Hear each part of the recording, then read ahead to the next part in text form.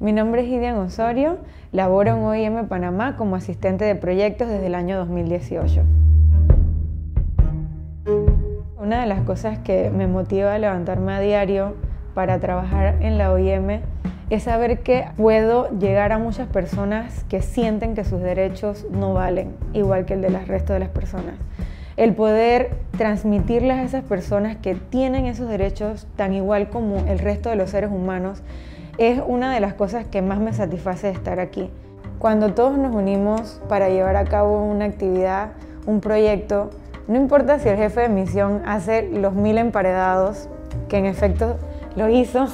en la última jornada. Lo único que importa es que todos estemos trabajando en grupo para las personas que requieren de nuestro trabajo.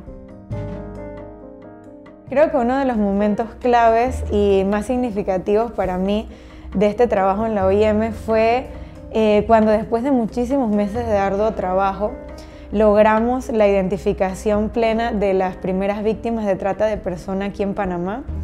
Creo que fue un proceso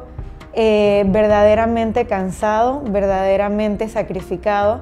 pero en conjunto con las instituciones logramos sentir finalmente la satisfacción de poder brindarle la mejor cara del gobierno a las víctimas de trata de personas que han sido reconocidas aquí en el país. Y yo sé que ese proceso que la OIM hizo y llevó a cabo con el gobierno ayudó a que el día de hoy muchas de esas víctimas hayan sido identificadas y estén en proceso de restituírseles sus derechos o cualquier otra de las cosas o de las opciones que ellas tienen para poder reintegrarse a la sociedad.